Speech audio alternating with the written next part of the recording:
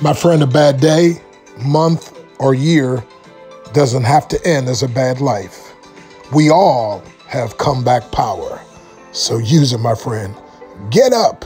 It's comeback time.